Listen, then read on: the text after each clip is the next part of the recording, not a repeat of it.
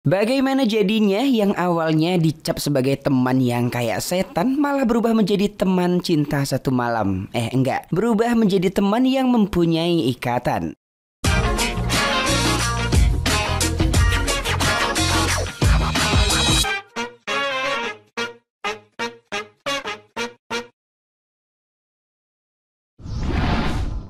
Hai everyone, welcome to UBR Entertainment. Apa kabar kalian hari ini? Kami doakan semoga dalam keadaan baik. Kali ini kami akan menceritakan sebuah alur mini drama berjudul Ruby Ruby Love. Namun sebelum mulai bagi kalian yang belum subscribe silahkan subscribe terlebih dahulu channel ini agar kalian selalu update dan tidak ketinggalan konten menarik lainnya. Oke, tanpa basa-basi lagi sebab kita bukan membahas hal yang basi. Inilah seluruh jalan cerita lengkap mini drama Ruby Ruby Love versi UBR Entertainment. Suatu hari di kamar, seorang wanita cantik yang merupakan pengrajin batu permata tampak sedang mendesain batu permata karyanya. Wanita cantik itu bernama Li Ruby. Dia sangat senang dan ceria dengan dunianya yang selalu memperhatikan setiap batu permata. Namun di balik keceriaannya, Ruby memiliki gangguan kecemasan. Untuk ketemu orang baru aja, itu sangat membuatnya begitu cemas. Apalagi ketemu dengan orang banyak. Wow, itu akan lebih membuatnya takut. Nah itulah kenapa hari-hari Ruby hanya menyendiri di kamar dengan ditemani perlengkapan batu permatanya. Pagi itu selain tentang batu, hal unik yang selalu dilakukannya setiap pagi yaitu memperhatikan lelaki yang disukainya menggunakan teropong. Ya, dari kejauhan Ruby hanya bisa melihat dan mengagumi sosok pria yang dijulukinya sebagai pangeran batu virus. Karena selain tampan, pria itu menggunakan gelang batu virus. Itu membuat Ruby semakin mengaguminya.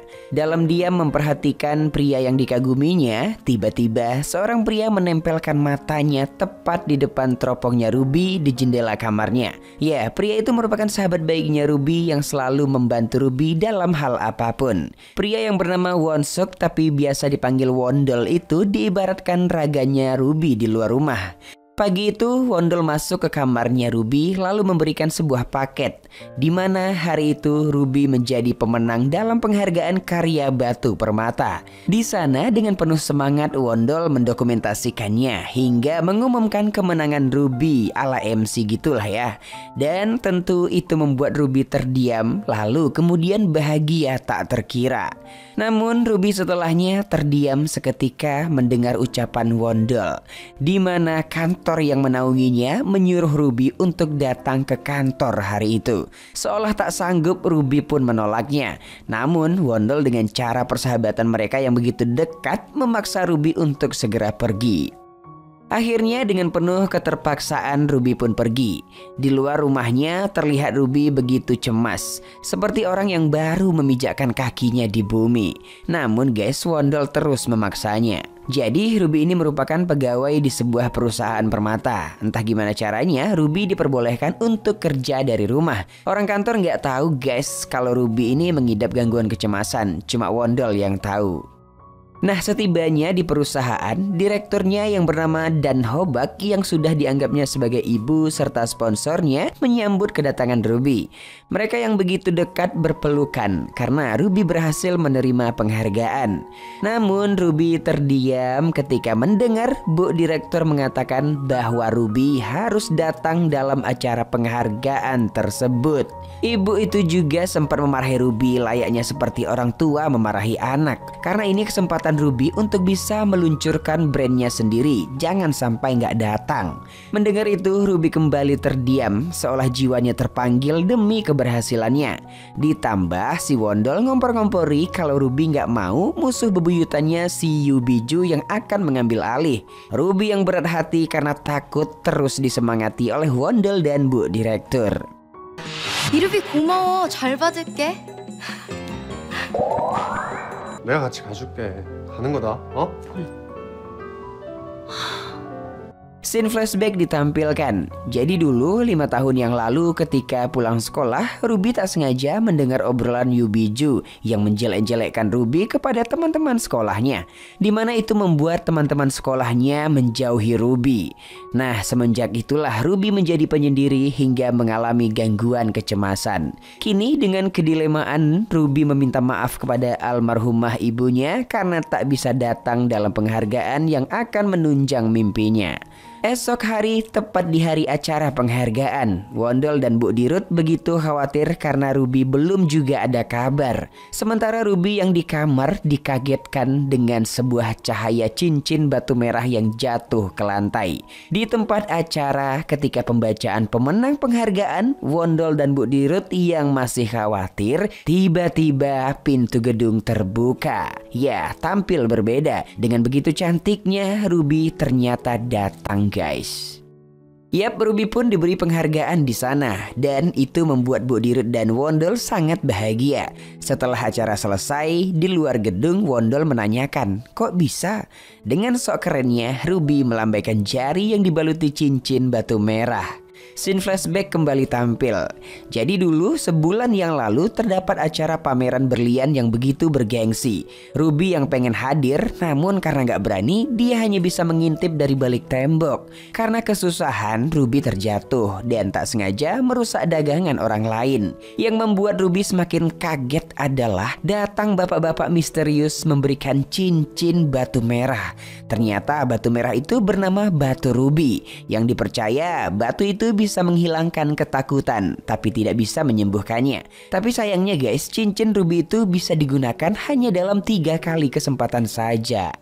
Nah, jadi sebelum berangkat ke acara penghargaan, Ruby pertama kalinya menggunakan cincin tersebut yang membuatnya seketika berubah dan berani. Kini di luar gedung, Ruby kembali dibuat kaget dengan kehadiran ketua tim mereka. Ya, yang tak lain dan tak bukan adalah Pangeran Batu Pirus, di mana sang pangerannya jugalah yang nanti akan membantu Ruby dalam mewujudkan peluncuran brandnya sendiri. Setelahnya, mereka pun ngobrol berdua. Di sisi lain, tampak Bang Wondol keberatan melihat Ruby berduaan dengan si batu virus. Tak berapa lama ngobrol, tiba-tiba cincin batu Ruby menyala. Yap, itu pertanda waktunya akan habis. Dengan segera Ruby pun beranjak pergi. Wondol yang khawatir mengikuti Ruby. Ternyata benar guys, Ruby telah kembali seperti semula. Ruby pun memberitahukan penyebabnya kepada Wondol. Nah ternyata batu itu selain kesempatannya cuma tiga kali, cincin batu Ruby ketika digunakan hanya bekerja dalam waktu tiga jam saja guys. Setelahnya Wondol menenangkan Ruby dengan memberikan hadiah berupa gelang. Kemudian ketika beranjak pergi, Yubiju melihat keadaan Ruby yang telah berubah seperti semula Esok harinya Ruby berjanji kepada foto mendiang ibunya ke depan ia akan bekerja keras. Dengan penuh semangat setelahnya Ruby membersihkan seluruh isi rumahnya. Wondol yang baru datang juga turut membantu.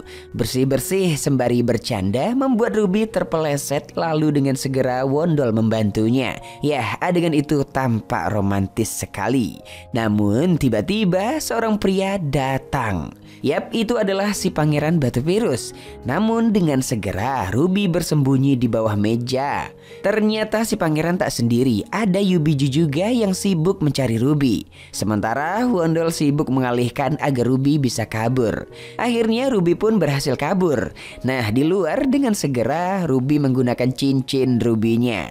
Setelah berubah, Ruby kembali masuk dengan tampilan yang beda lalu menyapa rekan-rekannya.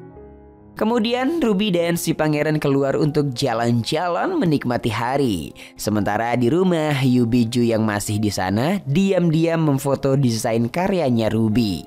Waktu telah hampir tiga jam. Kini Ruby kebingungan saat diajak makan malam oleh si pangeran. Namun ketika berjalan diam-diam Ruby kabur. Pangeran yang kehilangan segera mencarinya. Di momen itu Ruby yang panik dibantu oleh Wondol yang pergi menyusulnya. Ya Ruby kembali kembali seperti semula tepat di pelukan Wondol saat bersembunyi. Esok harinya, saat Wondol sibuk mengambil foto karyanya Ruby, Ruby diam-diam memperhatikan Wondol dan teringat tentang Wondol yang selalu ada untuknya. Dalam lamunan, Ruby dikagetkan oleh Wondol yang memberikan hadiah berupa batu opal namanya. Ketika Wondol ingin menyampaikan makna dari batu opal itu, tiba-tiba Bu Dirut menelpon lalu mengabarkan bahwa desain karyanya Ruby telah ditiru bahkan dijual oleh seseorang. Padahal itu desain akan menjadi barang pertunjukan. Ruby yang tak percaya itu bisa terjadi semakin dibuat kaget karena pertunjukan akan digelar seminggu lagi dan ia harus memikirkan desain yang baru. Dengan penuh kebingungan, Ruby pun pergi begitu saja. Hari besoknya, Ruby yang kesal hanya menyibukkan diri di rumahnya. Sementara Bang Wondol mencoba mencari tahu siapa pelaku pencuri desain karyanya Ruby itu. Di suatu tempat, Wondol mendatangi seseorang yang diduga membeli desainnya. Wondol mencari tahu siapa penjualnya dengan menunjukkan foto seseorang di HP-nya. Yap, setelahnya Wondol yang mengunjungi rumah Ruby melaporkan pada Bu Dirut bahwa Ruby bukanlah pelakunya. Kemudian Wondol yang berniat membangkitkan semangat Ruby untuk membuat membuat desain yang baru, seketika Ruby marah karena nggak akan bisa dalam waktu seminggu untuk membuatnya. Namun tiba-tiba lampu mati guys. Dan ya, akhirnya mereka berduaan ditemani banyak lilin malam itu. Di sana, Wondel memberanikan diri untuk memulai percakapan. Ia meminta maaf, bisa jadi ini karena batu opal yang diberikannya, di mana batu opal dipercaya akan membawa sial. Namun, Wondel menyampaikan arti opal yang sesungguhnya. Akhirnya, setelah keduanya saling memaafkan, Ruby mendapat sebuah ide ketika meletakkan batu opal ke dalam gelas berisikan air. Yap, hari demi hari Ruby dan Wondel dipenuhi untuk meriset segalanya, di mana Ruby pengen membuat batu permata yang bisa mengabulkan keinginan orang lain. Sementara Bu Dirut akan membantu agar semua pihak dapat setuju dengan idenya. Nah, ketika desain sudah siap, Ruby, Bu Dirut, dan Wondol pergi ke pengrajin logam untuk mencetak desain yang dibuat oleh Ruby. Awalnya, Pak pengrajin menolak karena nggak akan mungkin bisa cepat selesai. Namun, karena mereka semua memohon dengan sangat, akhirnya si Bapak luluh. Nah, beberapa hari berikutnya yang dibuat telah jadi, dan itu membuat Wondol dan Ruby bahagia hingga berpelukan. Malam harinya mereka pulang jalan kaki. Saat itu Ruby yang begitu lelahnya digendong oleh Bang Wondol. Setibanya di rumah ketika meletakkan Ruby ke atas sofa tak sengaja entah apa yang terjadi Wondol jatuh dan kedua bibir mendarat begitu indahnya. Pagi harinya ketika bangun dari tidur, Ruby sontak teringat dengan tragedi indah yang terjadi tadi malam. Namun tiba-tiba Ruby dikagetkan ada orang kantor yang menelponnya mengatakan bahwa presentasi dipercepat jadi jam 10. Yap, dengan segera Ruby pun bergegas memanfaatkan cincin batu rubinya. Namun setibanya di kantor, ternyata rapat tidak dipercepat tetap jam 5 sore. Kesal mendengar hal itu, ternyata itu ulahnya Yubiju yang sengaja mengerjai Ruby. Melihat Yubiju mengatakan itu pada Ruby, Wondol segera mengancam dengan melihatkan foto pembeli karyanya Ruby yang dicurinya waktu itu. Akhirnya Biju diam tanpa kata lalu menjauh. Siang itu di rumahnya Ruby, tampak Mbak Ruby begitu kesalnya karena telah membuang kesempatan terakhirnya menggunakan cincin batu Ruby. Namun Wondol yang di sana kembali menyemangati, tapi Ruby malah marah. Ia tak akan bisa katanya. Mendengar itu, Wondol tak tinggal diam. Ia pun langsung memarahi Ruby dengan kata-kata bijaknya. Lalu setelahnya Wondol pergi dengan meninggalkan barang-barangnya di rumah Ruby. Setelah Wondol pergi, saking kesalnya Ruby tak sengaja ia menjatuhkan barang Wondol. Ya, salah satunya sebuah kamera. Dengan segera Ruby mengambil kamera tersebut karena takut rusak. Namun ketika melihat kamera itu, Ruby dikagetkan dengan foto-foto Ruby yang selalu diambil oleh Wondol. Bahkan terdapat sebuah video yang di mana itu membuat Ruby senyum-senyum terpesona mendengar ucapan Bang Wondol yang tak sengaja direkamnya ketika di rumah Ruby. Wondol seolah ngobrol dengan foto mendiang ibunya Ruby tentang perasaannya. Di video itu Wondol juga menyimpan sesuatu di rumah Ruby dan berharap Ruby akan menemukannya. Yap, karena Ruby telah melihat video itu, segera Ruby melihat kotak yang sengaja disimpan Wondol. Di dalam kotak tersebut berisikan sebuah surat dan batu permata, di mana surat itu bertuliskan seperti permata yang tidak bercahaya di saat gelap. Begitu juga dengan kau yang akan tetap dengan caramu sendiri. Dengan penuh girang, Ruby mencoba melihat batu permata kecil yang ternyata ada tulisannya, yaitu I Ruby You. Yap, itu membuat Ruby begitu bahagianya walau tak mengerti apa artinya. Akhirnya karena kekuatan cinta, Ruby melepaskan cincin Ruby lalu segera bersiap-siap untuk menghadiri presentasi. Sementara di kantor, Wondol dan Bu Dirut kembali dikhawatirkan karena takut Ruby nggak hadir. Namun mereka semua dikasih kejutan oleh Mbak Ruby. Tanpa cincin batu Ruby, Ruby datang dengan busana yang begitu cantiknya menggunakan kalung berliuntinkan batu permata yang diberikan oleh Wondol. Singkatnya, presentasi pun dilakukan oleh Ruby di depan banyak tamu. Tampak Ruby begitu percaya dirinya dan semua orang yang mendengar tampak terpana dengan idenya Ruby. Setelah semuanya selesai, Ruby menghampiri Wondol yang berada di luar ruang presentasi. Di sana, Wondol yang tahu Ruby telah menemukannya, seketika Ruby menanyakan, apa maksud tulisan I Ruby You? Hmm, Wondol yang salah tingkah ragu-ragu mengatakannya. Namun akhirnya Wondol menyampaikan arti Airubiu versi dirinya itu adalah aku cinta padamu. Mendengar ucapan Wondol, Ruby memberikan sebuah hadiah kalung di mana itu merupakan hasil karyanya yang menempel batu ruby di liontinnya. Itu artinya kini Ruby telah menjadi milik Wondol. Hmm, mereka pun berpelukan. Indahnya lagi, sore itu kedua pasang bibir mendarat dengan sempurna. Mwah, indah banget kan? Oke guys, tamat. Sebuah mini drama dengan judul Ruby Ruby Love. Drama yang mengusung genre komedi romantis ini dibintangi oleh Sohyun, Lee Chul-woo, dan Lee Ji Kyung. Mini drama yang menghadirkan 5 episode ini dirilis tahun 2017 lalu. Dengan durasi 12-15 menit di setiap episodenya, drama ini cocok buat kalian yang tidak menyukai drama yang memiliki durasi yang panjang-panjang. Dalam drama ini, para pemeran utama menampilkan akting yang begitu baiknya, sehingga kita yang menontonnya dapat merasakan suasana yang dihadirkan. Artinya, seluruh pemeran berhasil memainkan karakter yang dimainkan. Begitupun sang sutradara yang begitu rapi dalam mengarahkan drama ini. Mini drama ini sangat ringan, guys. Konflik yang dirasa sulit dipahami rasanya tidak ada, jadi gampang lah ya untuk dipahami. Dalam drama ini terdapat pesan-pesan yang tersirat di dalamnya, di mana salah satunya dari drama ini kita belajar kadang kita butuh paksaan keras agar bisa memanfaatkan kesempatan yang ada di depan mata. Artinya kita tak akan bisa hidup seorang diri di dunia ini. Gimana pun hidup ini membutuhkan orang lain, guys. Nah, bagi kalian yang senang dan penasaran dengan mini drama ini, boleh banget guys untuk ditonton secara lengkapnya. Dan terakhir masuk pada penilaian, Biro Perfilman UBR Media memberikan rating drama Ruby Ruby Love 6,3. Like dan share ke teman-teman tersayangmu agar mereka juga ikutan nonton mini drama keren ini.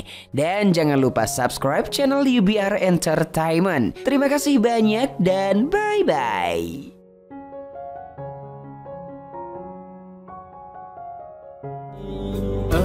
Engkau kini bukanlah untukku. Sungguh ku tahu ingin ku telah jauh. Cukup sudah kau lupakanlah masa-masa itu. Saat dulu aku di hatimu